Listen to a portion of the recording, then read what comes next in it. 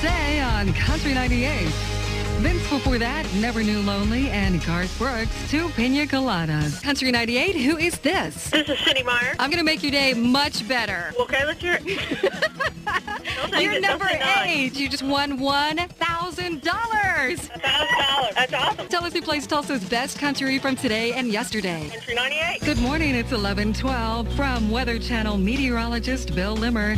Partly cloudy, warm. I'm going to go ahead and say hot. High today, 87. And by tomorrow, partly cloudy. A chance of thunderstorms, some possibly severe. We will keep an eye on it for you. High tomorrow, 85.